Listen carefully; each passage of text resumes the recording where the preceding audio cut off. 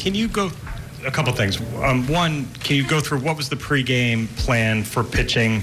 Did you think about hitting for Scherzer in the in the third there, and what did you think you could get out of Stras? Oh yeah, we, we I don't know if this is working out, but yeah, we um, we thought about it, but you know, the thing is to try to get Stras through the later innings as well. I mean, that was uh, and sure settled down after the first two innings. I mean, he was dynamite. So um, we rode him as long as we can, and we you know we knew we had to pinch hit for him. Uh, and what can I say about Stras? I mean, he comes in out of the bullpen and, and shuts them down, gives us a chance to get back in the game. And, you know, you guys seen the rest. I mean, the eighth inning, we score some runs. Hardy comes in and, and closes the ninth. Davey, it starts with the hit at bat by uh, by Taylor, and then the at bats then continually, you know, kind of pass the baton type of thing. And Juan comes up with a big, big hit for you. And what would you expect out of a 20 year old, right? Yeah, how about that? Um, but you know, he's done it all year for us. Um, you know, that's why he's that's why he's a cleanup hitter. You know, uh, he he gets he makes good at bats and he comes through when, when we need him come through. He's just been uh, he's been unbelievable all year for us. Front row right, Mark.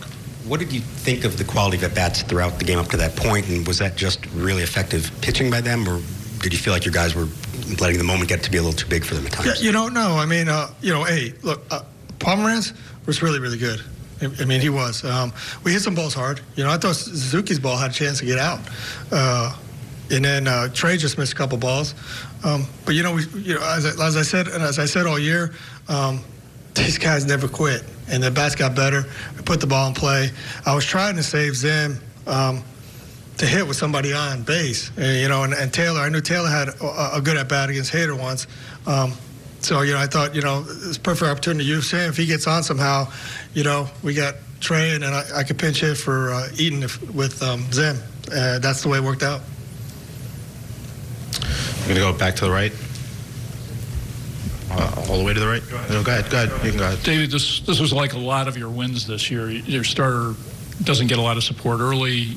It's getting late in the game, and then all of a sudden things happen. Can you talk about how the season has gone with so many wins like that? Yeah, it's been going like that all year. Um, but like I said, you know, they they uh, they play to the last out. You know, uh, every day they don't quit until the 27th out is recorded. Um, and honestly, for me, I kind of got used to it. And uh, you know, we're sitting there, and nobody ever thought we were, were were ever done until that last out was. Really, I mean, the dugout was fired up, the guys were fired up.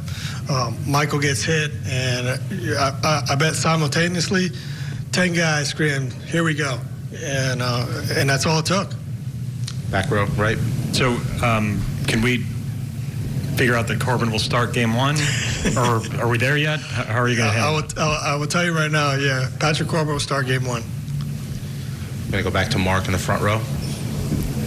You mentioned the Taylor hit by pitch. Obviously, there was a tense couple of minutes there as they're reviewing it. What, if anything, did you see or have you seen since uh, that convinced you that the ball did hit? Yeah, we, we did, and he had a scuff on his he had a scuff on his batting glove. Um, so it did. I mean, it hit him. It hit, hit his hand and hit the bat, uh, but it hit him first. I'm going to go to the left here.